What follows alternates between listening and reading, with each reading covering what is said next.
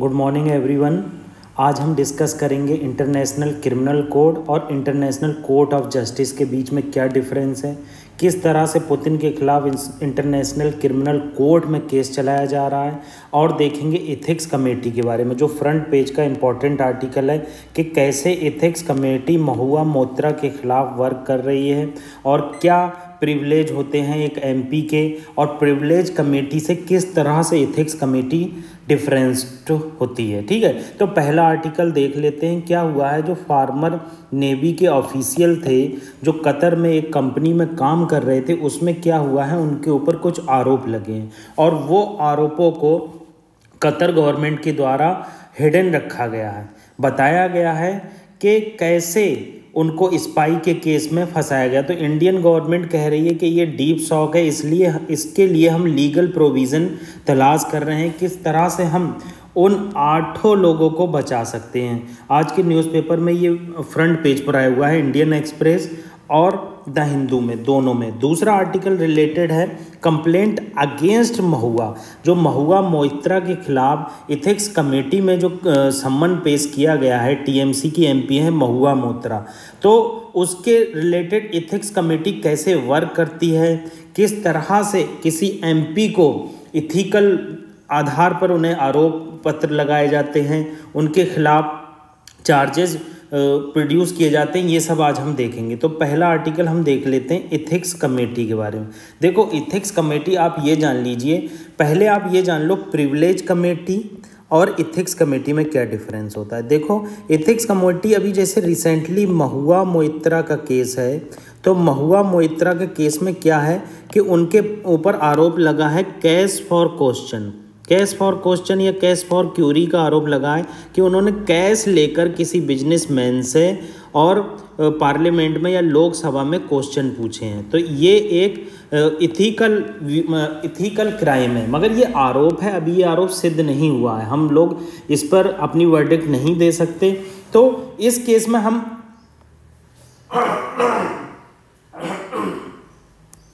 तो इस केस में हम कह सकते हैं कि इथिक्स कमेटी का रोल किस तरह से आएगा और कैसे मोरल परसुएसन और कैसे इथिकल कंडक्ट को डिसाइड किया जबकि प्रिविलेज कमेटी जो होती है, वो इथिक्स कमेटी से बहुत डिफरेंट होती है।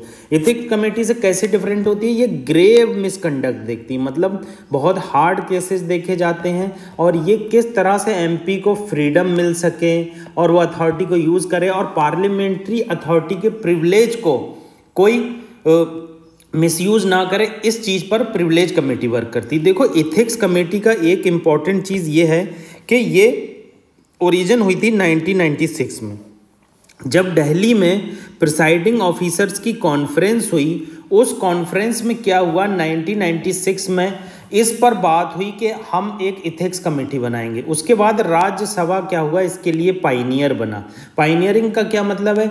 कि जो हमारे वाइस प्रेसिडेंट थे के आर नारायण जी, के आर नारायण जी ने फ़र्स्ट टाइम इसको इथिक्स कमेटी को स्टेबलाइज किया 1997 में राज्यसभा में, और इसके लिए प्रॉपर मेंबर्स ऑर्गेनाइज किए गए। लोकसभा में क्या हुआ?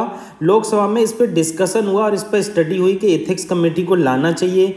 Privilege house of committee of privilege ने इस पर स्टडी ग्रुप बनाया। उसके बाद क्या हुआ? 2000 में इसे एडॉक बेसिस पर लाया गया। एडॉक बेसिस पर लाने के बाद क्या हुआ? इसे 2015 में परमानेंट फिक्से फिक्सेचर मिल गया। मतलब परमानेंटली स्टेबलाइज की गई। और अब ये राज्यसभा और लोकसभा दोनों में पाई जाती है और ये सेपरेटली सेपरेटली पाई जाती है। ठीक है? अब अगली चीज़ क्या है? प्रोसीजर फॉर कंप्लेंट अब क्या कंप्लेंट का प्रोसीजर होता है कमेटी में? देखो क्या होता है, कोई भी एमपी के ऊपर अगर आरोप लगता है कि आपने करप्शन किया है या आपने कैश फॉर क्यूरी किया है तो उस केस में कोई दूसरा एमपी स्पीकर को जाकर रिपोर्ट करता है कि ये एमपी जो है कि किसी कैश किसी से पैसा लेकर क्वेश्चन पार्लियामेंट में पूछ रहा है और पार्लियामेंट्री प्रिविलेजेस को डाउन कर रहा है। तो उस केस में क्या करते हैं? एमपी की कंप्लेन की ज़रूरत होती। है मगर अगर कोई अदर मेंबर कंप्लेन करता है तो उस केस में, उस केस में एविडेंस का होना बहुत ज़रूरी। देखो the complain must be accompanied by evidence of alleged misconduct and affidavit confirm it authority मतलब इविडेंस होना चाहिए और एफिडेविट होना चाहिए। मगर जब MP दूसरा MP कंप्लेन कर रहा है तो उस केस में एफिडेविट की ज़रूरत नहीं है। ठीक है? अब स्पीकर का क्या रोल कर, होता? अब स्पीकर देखता है कि जो एविडेंस हैं वो प्रॉपर हैं और एमपी ने जो कंप्लेन की है, वो ठीक है, वो क्या करता है? इथिक्स कमेटी को भेज देता है। इथिक्स कमेटी कमेटी क्या करती है? प्रिलिमिनरी इंक्वायरी करती है और इंक्वायरी करने के बाद क्या करती है? उसको रिकमेंड करती है दूसरी स्टेज के लिए। ठीक है? और इसके बाद क्या होता है? अगर उसमें प्रॉब्लम मिलती है या फिर कहते हैं करप्शन के चार्जेस मिलते हैं तो रिपोर्ट प्रेजेंट की जाती है स्पीकर को।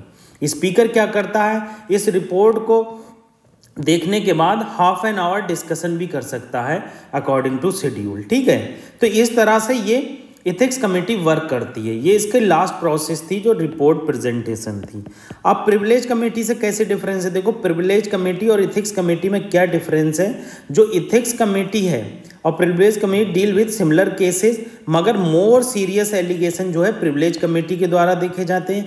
प्रिविलेज कमेटी सेफगार्ड करती है एमपी के फ्रीडम को कि वो कुछ भी बोल सकता है, उसको कोई भी रोकेगा नहीं, उसको अथॉरिटी को और dignity of parliament dignity of parliament का मतलब होता है कि आप ऐसे गाली गलौज या फिर अपशब्द या फिर हाथ का उठाना ये सब ना करें ताकि पार्लियामेंट की डिग्निटी डिग्रेड हो, ठीक है?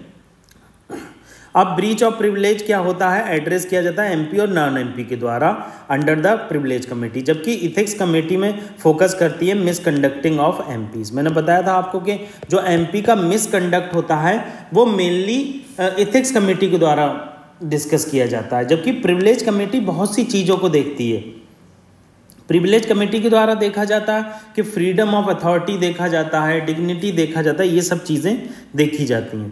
देखो, अगला आर्टिकल देखने से पहले हम कल के दो क्वेश्चन डिस्कस कर लेते हैं। पहला क्वेश्चन क्या था कि which of the following article of Indian constitution deal with duty and power of controller and auditor general तो देखो, इसमें option article one forty nine ठीक है। अगर आपने कल का डिस्कशन अच्छे से सुना होगा तो आपको पता होगा, हमने डिस्कस किया था आर्टिकल वन फोर्टी नाइन को कि वो कंट्रोलर की पावर और ड्यूटी को बताता है, ठीक है?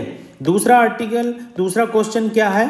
कि दूसरे क्वेश्चन में बताया it shall be duty of controller it all and auditor general to audit all receipt which are payable into the consolidated fund of India बिल्कुल ठीक है ये। ये क्यों? आपसे डिस्कस किया था मैंने कि ऑडिटर जनरल क्या करता है?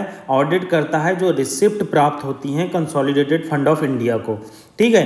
Controller and auditor general shall have authority to audit and report on account of store and stock kept in any office and department of union and store ये भी ठीक है। क्या होता है कि आपने अक्सर देखा होगा, जो ऑडिट किया जाता है तो उसमें स्टॉक की भी गिनती होती है। तो दोनों ही इसमें करेक्ट हैं। ठीक है? ये दोनों ही ऑप्शन करेक्ट है, ठीक है? तो ये कल के क्वेश्चन देखिए, आगे डिस्कशन को बढ़ाते हुए हम इंडेक्स ऑफ़ इंडस्ट्रियल प्रोडक्शन को देखते हैं। देखो, चौदह मंथ के हाई पर है इंडेक्स ऑफ़ इंडस्ट्रियल प्रोडक्शन देखो इंडेक्स ऑफ़ इंडस्ट्रियल प्रोडक्शन क्या होता है?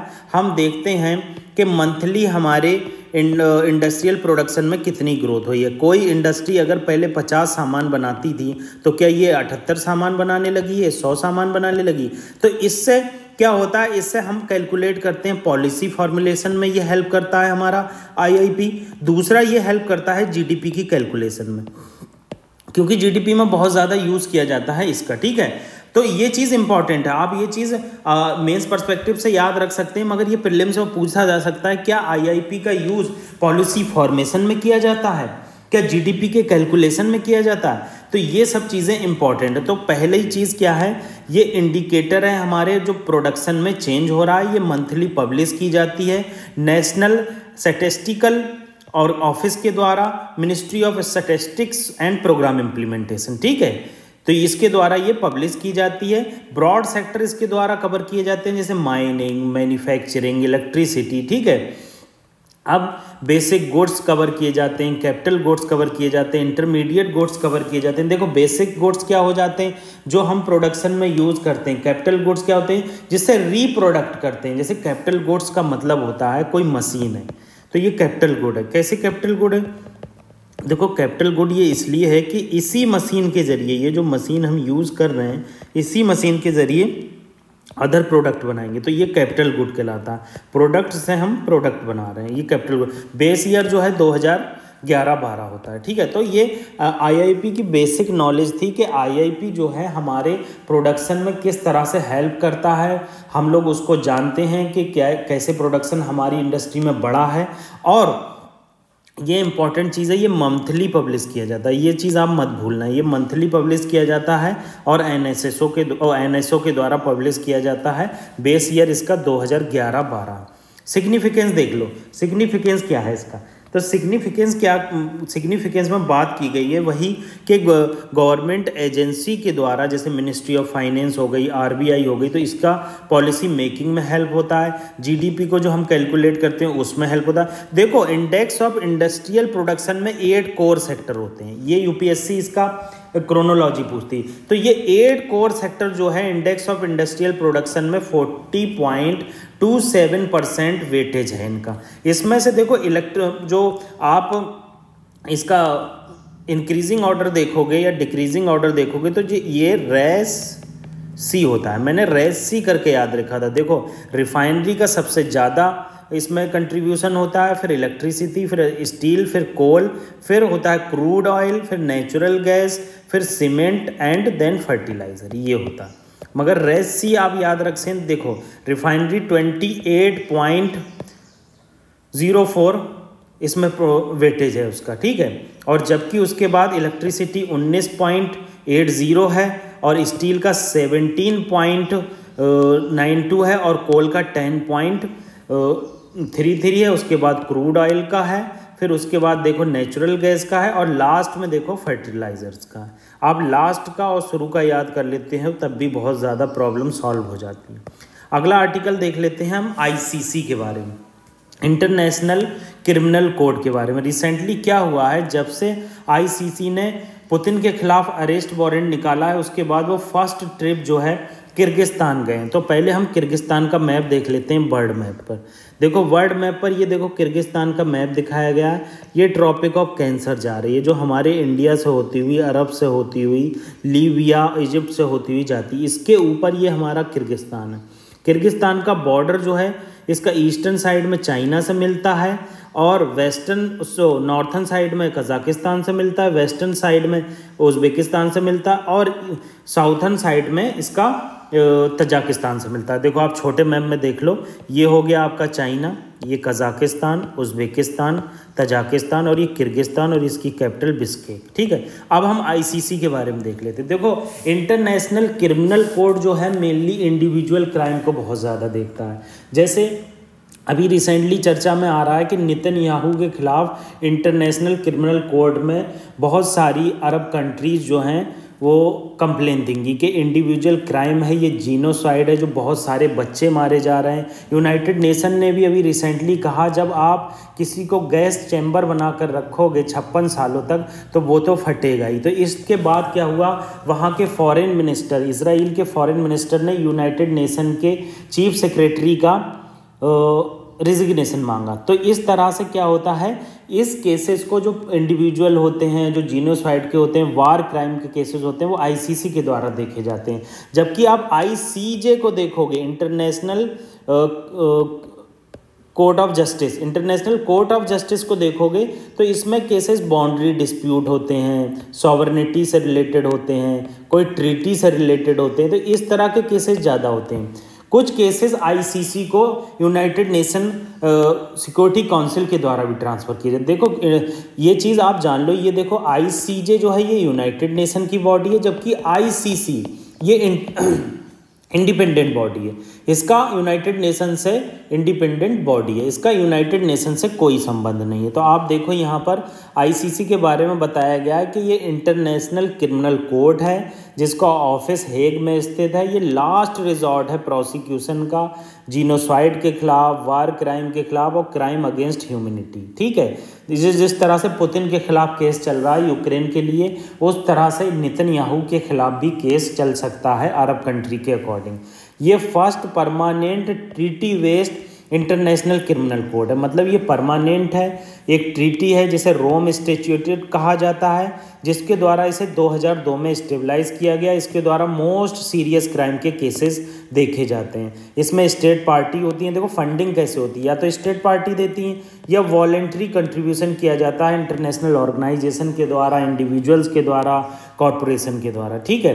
कंपोजिशन में इसके कौन कौन होता है? देखो लेजिस्लेटिव बॉडी होती है असेंबली होती है। तो इसकी असेंबली में क्या होता है?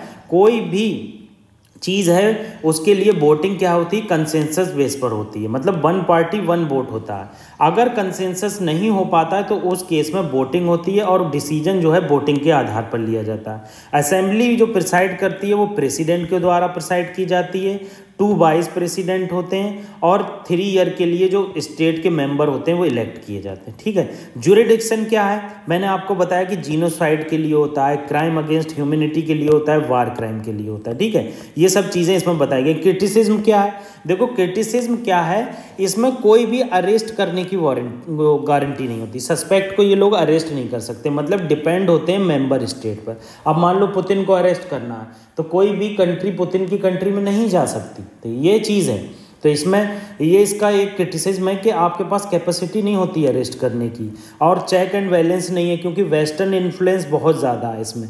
वेस्टर्न इम्पीरियलिज्म बहुत ज़्यादा है तो वाइसनेस है। मान लो नितिन याहू पर केस होना है यूएस जो है उस केस में वो कंप्लेन को संज्ञान ही नहीं लेता है तो उस केस में आईसीसी में केस नहीं हो सकता। तो ये वाइसनेस एक बहुत ही क्रिटिसिज्म है, बहुत बड़ा क्रिटिसिज्म है और केसेस को सक्सेसफुली सॉल्व नहीं किया जाता कॉपरेशन देखने को नहीं मिलती है। अब आईसीजे एंड आईसीसी में आप डिफरेंस देख लो। देखो आईसीजे जो होती है इंटरनेशनल कोर्ट ऑफ़ जस्टिस इसे स्टेबलाइज किया गया 1946 में। जबकि इंटरनेशनल क्रिमिनल कोर्ट को स्टेबलाइज किया गया 2002 में। यूनाइटेड नेशन से रिलेशन क्या, ये ऑफिशियल कोर्ट है। इसे वर्ल्ड कोर्ट के नाम से जाना जाता है। ये याद रखना, यूपीएससी अदर नेम बहुत यूज़ कर रही है आजकल। तो वर्ल्ड कोर्ट को किस नाम से जाना जाता? है आईसीजे के नाम से। जबकि ये जो है आईसीसी, ये इंडिपेंडेंट है और कंप्लेन जो है रिसीव कर सकता है यूनाइटेड नेशन सिक्योरिटी काउंसिल से और उस पर संज्ञान ले सकता है। दोनों का ऑफ़िस हेग में है, ठीक है? ये कंटेंसियस इशू देखता है। जैसे एडवाइजरी ओपिनियन देगा सॉवरनिटी पे बाउंड्री डिस्प्यूट पे मैरी टाइम पर नेचुरल रिसोर्सेज कौन वायोलेट कर रहा है सी का कौन वायोलेशन कर ये जो है जीनोसाइड्स है। जीनोसाइड बच्चों को मार देना ह्यूमनिटी के खिलाफ कुछ करना वार क्राइम करना, लड़ाई फालतू में कहीं करना एग्रेशन क्राइम ऑफ़ एग्रेशन करना। ठीक है, इसकी फंडिंग जो है, ये आप देख लो, इसकी फंडिंग जो है वो यूनाइटेड नेशन द्वारा दी जाती है। जबकि इसकी फंडिंग रोम स्टेचुटेट्स के द्वारा स्टेट्स के द्वारा दी जाती है। इंडिविजुअल ऑर्गेनाइजेशन कॉरपोरेशन और अदर इंटिटी के द्वारा दी जाती है। तो इस तरह से हमने आज के आर्टिकल डिस्कस किया। आपसे मेरी गुजारिश है, हमारे चैनल को ज़्यादा से ज़्यादा सब्सक्राइब कीजिए शेयर कीजिए। Thank you thank you very much